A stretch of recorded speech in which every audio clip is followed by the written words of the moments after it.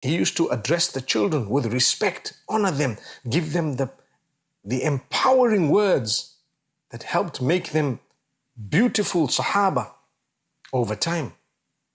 They became companions of note. The little ones at that time, Abdullah ibn Mas'ud radiallahu anhuma, Abdullah ibn Abbas radiallahu anhuma, those were little children.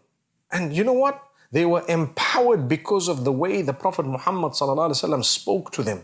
Coming back to the family unit, let's speak to each other with respect. Don't allow your wealth to come in the way